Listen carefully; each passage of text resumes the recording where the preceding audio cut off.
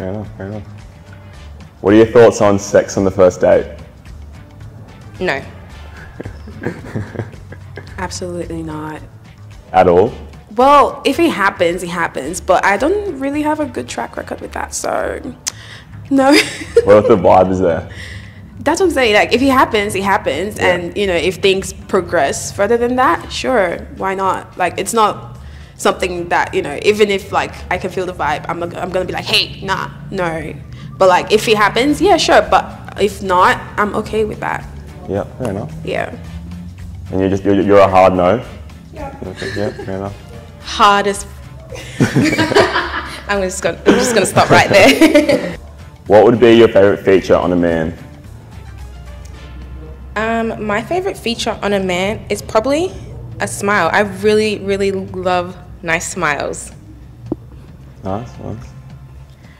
It's gonna sound weird, but I like hair. I like when a man is like, you know, packing a really nice beard, like has a little, you know, hairstyle going on. I don't mind body hair as well. So if that's, you know, properly maintained, that's a big turn on for me.